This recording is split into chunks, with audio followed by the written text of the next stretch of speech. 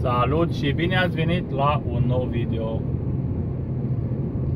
Suntem, după cum probabil se poate observa, pe traseul Brennero Și în videoclipul de astăzi Aș vrea să discutăm un pic despre câți ani ar fi bine să lucrezi pe comunitate ca șofer, bineînțeles. Câți ani, câți ani ar fi bine să lucrezi? Plus minus. Pe scurt, eu zic așa, minim 2 pentru a cunoaște ceva din punct de vedere financiar și maxim 5 pentru a nu te izola din punct de vedere social. Ce ai, Ce ai văzut? Deci pentru a nu te izola din punct de vedere social, deoarece este posibil să uiți să trăiești cu sau între oameni. Pentru că chiar și acum, nu, acum avem un peisaj plăcut, frumos și ne simțim bine văzându-l. Însă, se poate întâmpla să nu vedem decât parcări, rampe, autostrăzi sau drumuri naționale, ori de care, nu neapărat autostrăzi, dar să nu vedem decât atât. Într-o perioadă de câteva săptămâni sau chiar câteva luni. Ceea ce mie, cel puțin, mi se pare foarte dăunător din punct de vedere psihic. Dar o să vorbim și despre asta imediat. Hai să o luăm din punct de vedere financiar sau să luăm așa pe trepte. Prima treaptă ar fi cam așa. Dacă tot faci școala de șofer și tot vrei să te angajezi pe comunitate ca șofer de camion și așa, cred eu că ar fi bine să vii și să stai măcar un an. Adică mă, ăsta, ăsta bâzie și acum am oprit uh, sonorul. Măcar un an consider că e ok să stai pe comunitate, deoarece în timpul ăsta faci niște bani, îți scoți investiția inițială, cheltuielile ulterioare, adică școala de șofer costă acum vreo 1000 de euro, 1500 chiar cu tot cu atestate și toate alea. Cred eu că așa, undeva la 1000-1500 de euro. Și cumpărături pentru a putea lucra în condiții bune pe comunitate, cumpărăturile astea iară costă, cred eu că încă vreo 500 de euro. Poate că nu chiar, da, să zicem, aproximativ. Ceea ce vine la un cost aproximativ inițial de 2000 de euro. Deci tu cheltui 2000 de euro ca să poți lucra 2000 de euro în România, cel puțin, nu prea îi faci așa într-o lună, două. Și pe comunitate cam faci. Într-o lună, în mod sigur, îți rămân 2000 de euro dacă strângi un pic cureaua, că oricum aici nu ai nevoie de nu știu ce. Am vorbit despre asta în un alt videoclip, puteți să-l căutați și să vedeți despre ce e vorba. Câți uh, bani poți economisi pe comunitate. Acolo am vorbit mai pe larg și toate videoclipurile care sunt legate de bani de pe canalul ăsta puteți să le vedeți pentru a vă putea orienta un pic cu privire la mentalitatea pe care o am eu vis-a-vis -vis de acest subiect. Deci, băi, eu am văzut ceva, nu știu dacă a fost o reflexie sau o fost vreo cameră care m-a fleșut. Sper să fi fost o reflexie ceva. Deci, te pui la cheltuială, ai făcut școală, șofer, ai făcut de toate, după care, frumos, cauți o firmă care să te ia ca începător. Într-adevăr, fac figuri oamenii, uh, mulți angajează începători, să zic pe aia dreaptă, mulți angajează începători, dar puțin te primesc, hai la noi, că oricum noi angajăm începători. Ce am observat, un trend mai puțin plăcut, așa mai fără șoric, este următorul. Băi, noi nu angajăm începători, dar dacă tu chiar vrei să te angajezi, hai că te luăm noi, na, hai că te luăm așa și apoi vedem noi. Știi? Și te freacă și te are la mână și nu știu ce. Asta sper să nu țină mult trendul. Asta sper, poate că am văzut eu greșit, cine știe. Da. Dar mi se pare că nu-i, nu-i, nu-i chiar ok.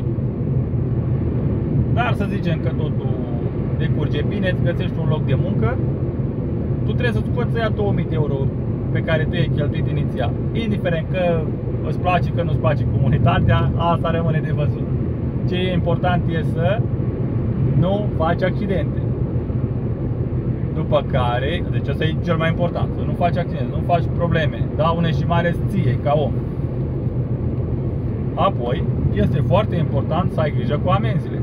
Am vorbit și despre asta, am vorbit și despre cum previi accidente și așa mai departe, deci puteți vedea dacă vreți, bineînțeles, să-mi auziți părerea vis-a-vis de aceste lucruri. Cum eviți amenziile sau cu ce viteze să mergi sau chestii de astea, iar am videoclipuri, nu-i problemă. Bun. Eviți tamponări, accidente grave sau ușoare, 100% sau 99%, măcar să fie tamponări astea ușoare dacă chiar nu poți să le eviți tot.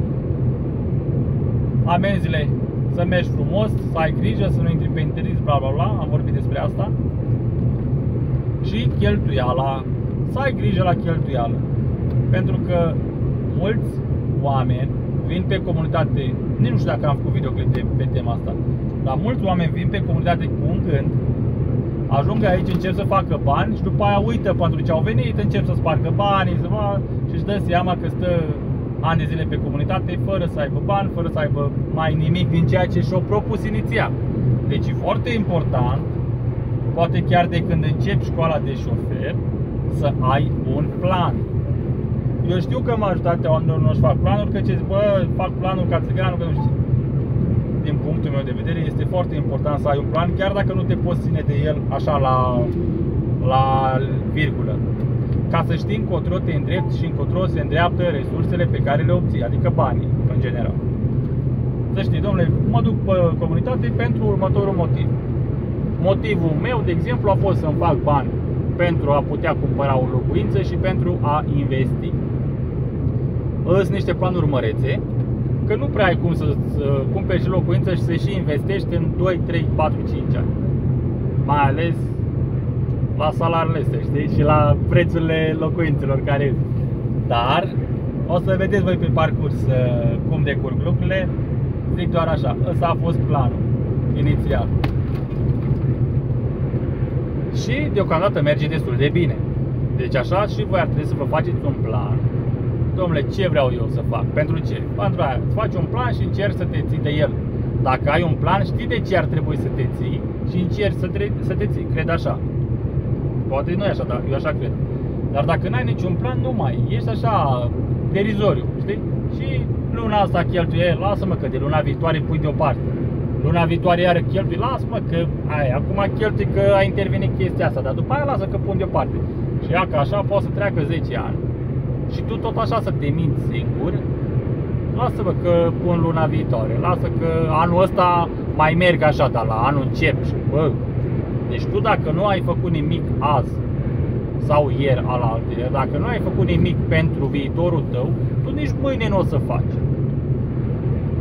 Sau poate o să faci mâine, dar tot ce ai făcut mâine și poimne, răz poimne ai făcut praf. De ce? Pentru că tu nu ai o bază. Deci chestia asta cu economisitul, am vorbit și despre economisit în videoclipul ăla de la pomenit. Uh, câți bani uh, poți economisi pe comunitate, cred că așa se numește. Uh, nu, câți bani poți să economisești într-o lună lucrată. Cam așa se numește videoclipul, căutați. Dacă nu l-am postat deja, urmează. Și vreau să zic că noi ne mințim singuri, bă, las că de luna viitoare, că de anul viitor, că de nu știu ce. Dacă noi nu avem o bază, să știm, domnule, avem deja economisit atâția bani. Să zic că economisești chiar și 50 de lei pe lună dacă economisești, sau 100 de lei pe lună dacă economisești, timp de 5 ani ești, ești șmecher din calea afară. deci ești foarte bun din punct de vedere financiar. Și mai e o chestie. Dacă după ce ai economisit o sumă foarte mare de bani sau o sumă bunicică pentru tine, că o sumă mare poate însemna, de exemplu, dacă zici 1000 de euro, pentru cineva poate însemna o sumă foarte mare și pentru altcineva înseamnă o chestie de nu vine să pomenească, știi? Da. Deci o sumă mare pentru tine. Dacă tu reușești și economisești, să ai grijă ce să faci cu ei. Nu-i arunca pe mașini. Eu atâta zic. Nu-i arunca pe mașini. Și zic arunca subliniat. Pentru că din punctul meu de vedere, dacă tu economisești un an, doi, trei și tu ai băgat banii într-o mașină, îi bani aruncați. Dar nu intrăm în prea multe detalii. Bun. Deci trebuie să lucri, dacă tot vii pe comunitate, eu zic așa, până lucră 2 ani de zile. În primul an mai primești o amendă, mai îți acoperi cheltuielile. Nici cu cheltuielile ele de pe comunitate nu poți să fii foarte calculat, deoarece e mai greu cu acele cumpărături săptămânale sau așa, e mai complicat. În primul an să zic că poți să economisești mai puțin, dar în următorii ani, deja eu personal, de la sezon la sezon, mi-am îmbunătățit abilitățile. Atât în ceea ce privește domeniul financiar, cât și ceea ce privește eficiența cu care îmi fac treaba. Și nu e rău, și nu e greu. Dacă te gândești cu pași mici și ești atent la pașii mărunți, nu gata, vreau să fac de luna asta, vreau să fac nu știu ce modificări, nu. Modificările mari nu țin mult. Deci trebuie să fii foarte atent la modificările mari. Bun, și de ce zic 2 ani? Păi în primul an abia îți dai seama despre ce e vorba pe comunitate. Acum nu vreau să zic că, bă, ă, dacă lucrezi 6-7 luni nu știi care e faza și atunci știi. Dar într-un an de zile pot să zic că nu mai ești începător. Deci din punctul meu de vedere, după primul an deja nu mai ești începător. Nici într-un domeniu. Dar în același timp consider foarte important să lucrezi un an de zile într-un domeniu sau la o firmă ca să-ți dai seama cât mai exact și consider că într-un an îți dai seama destul de exact despre ce e vorba acolo. Așadar, în primul an, poate că mare lucru nu faci, dar îți dai seama despre ce e vorba. În al doilea an, mai faci niște bani și minim 2 ani consider că este necesar să lucrezi ca să-ți pui bani deoparte. Acum, că pui 300 de euro pe lună deoparte, că pui 2000, 3000 de euro pe lună deoparte, alea sunt propriile tale probleme. Nu mai ține nici de mine, nici de altcineva. Tu singur poți să-ți faci. Domnule, cât câștigi, că asta e foarte important, cât câștigi. După care, al doilea lucru cel mai important este cu cât rămâi în buzunar după toate cheltuielile. Ar fi bine să rămâi cu mulți bani, un procent cât mai mare față de cele uh, sumele încasate. Dar zic maxim 5 ani, de ce? Pentru că văd uh, multe persoane, mulți șoferi pe comunitate care sunt de 5, 7, 10 ani, 15 ani, 19 ani, 25 de ani. Eu numai cât mă gândesc cât, uh, nu, vezi, numai să numeri 10 ani ori, 2, ori 12 luni. 120 de luni, deci numărul numai până la 120 și gândește că fiecare an înseamnă o lună de zile. Adică numai să te gândești la asta. 10 ani Că să ne înțelegem, ce înseamnă comunitate Din punctul meu de vedere. Înseamnă acea meserie pe care tu o faci departe de tot ce înseamnă oameni dragi. Deci te întâlnești aici cu oameni, te, dar cu cine te întâlnești? Cu ea de la benzinării, cu ea de la fabrică, de la firmă, de la încărcare, descărcare, cu ea de la terminal, deci numai cu oameni de ăștia. Când ai mai schimbat și tu o vorbă cu cineva apropiat? Ultima dată. Mi-ar plăcea să fie azi dimineață sau aseară sau chestia asta, știi? Dacă nu s-a întâmplat ieri, azi, săptămâna trecută, deja e problemă. Da. Și asta, pentru mine asta înseamnă comunitate. Să fii plecat de acasă și să dormi prin camion și așa mai departe, prin parcări și tot fel de balivere. Deci pentru mine asta înseamnă comunitate. La asta mă refer. Nu înseamnă să vii pe aici prin străinătate, să stai undeva la chirie, aia nu mai este o comunitate, din punctul meu de vedere. Da, e lucrat în străinătate, lucrezi în străinătate. Am că faci tu curse dintr-o țară în alta, e altceva. Dar din punctul meu de vedere, munca pe comunitate este strict asta. Să dormi în camion, să nu știi unde te prinde seara, să nu știi unde te prinde dimineața. Deci pentru mine asta înseamnă munca pe comunitate. Dacă tu vii și te angajezi în Germania și lucrezi în Germania și dormi undeva la o chirie, la un hotel, la o casă, la un bloc, ce-o fi el, din punctul meu de vedere, aia nu este comunitate, chiar dacă tu te duci uh, la o lună, două, trei acasă. Ăla este lucru în străinătate. Punct. Da. În fine. Pentru că tu știi unde te duci seara, știi unde dormi. Asta e foarte important. Pentru că voi vă gândiți, da mă, ai oprit programul și te-ai pus la somn. Ce? Să știți că există un stres pe care nu le ia nimeni în seamă și dacă ar fi după mine ar trebui plătit. Stresul ăla de dormit prin tot felul de locuri, mai mult sau mai puțin dubioase, mai mult sau mai puțin sigure. E, stresul ăla, în fiecare seară, este ceva ce se adună. Și de asta zic, mai mult de 5 ani nu mi se pare ok, deoarece te înstrăinezi, te înveți foarte mult și nu-ți mai vine când vezi oameni și când le vezi figurile, pentru că așa suntem noi oameni cu figuri. Pe când îi vezi, când le vezi figurile și așa, îți vine să le întorci spatele, lasă-mă în pace. Știi? Și consider că este o problemă Ce aș mai testa, vă zic așa, ce aș mai testa, aș testa chestia asta. Să lucri un an, doi, trei, patru, cinci poate, să iei o pauză, tot așa, de un an, 2, 3, 5, 10, iară să mai lucri. Iar.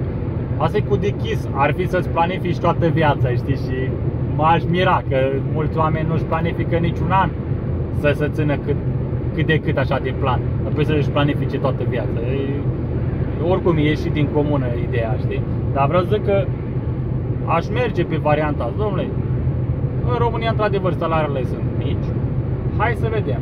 Mă duc un an, doi pe comunitate, a, iau o pauză, mai stau acasă cu familia, cu prieteni, cu neamurile, cu așa. După aia, dacă iară să vești o chestie, să am nevoie de mai mulți bani sau mi se pune pata pe ceva, vreau să-mi schimb mașina sau poate vreau să-mi schimb casa, cine știe, mă duc în alt uh, oraș, e, atunci mai vii pe comunitate un an, doi, îți faci niște bani, iar te duci acasă, știi, mai stai, vezi de viața ta mi s-ar părea mai bună varianta asta, teoretic cel puțin, și o zic așa, eu n-am făcut așa ceva, vă zic doar cum mi se pare teoretic mai bună, decât să vii și să stai 10 ani continuu pe comunitate. Da. Bun, nu mă mai lungesc, atât am vrut să vă transmit. Mulțumesc pentru vizionare, dacă vă place ce vedeți pe acest canal, puteți să vă abonați și astfel veți vedea și alte videoclipuri asemănătoare. Dacă vreți să mă susțineți și să susțineți ceea ce vedeți aici, puteți să o faceți devenind membri. Mulțumesc cu ocazia asta tuturor membrilor care au ales să mă susțină și cu ajutorul cărora, uitați că am reușit să îmbunătățim calitatea video și audio de la acest canal, precum și numărul de videoclipuri. Să le mulțim! Vă salut, o zi frumoasă, să ne vedem, să ne auzim cu bine. Ciao!